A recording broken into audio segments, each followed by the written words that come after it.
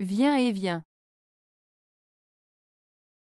Viens, le verbe viens est la deuxième personne du singulier de l'impératif présent du verbe venir. Il est utilisé pour donner un ordre ou une invitation à quelqu'un de se rapprocher ou de rejoindre un endroit spécifique. Exemple. Viens ici. Je veux te montrer quelque chose. Viens à la fête ce soir.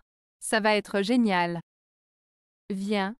Le verbe viens est la troisième personne du singulier du présent de l'indicatif du verbe venir. Il est utilisé pour décrire l'action de quelqu'un qui se rapproche ou qui arrive à un endroit spécifique. Exemple. Il vient à la maison demain pour dîner.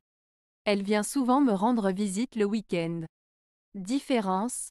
La principale différence entre vient et vient réside dans le fait que vient est utilisé pour donner un ordre ou une invitation à la deuxième personne du singulier, tandis que vient est utilisé pour décrire l'action de la troisième personne du singulier.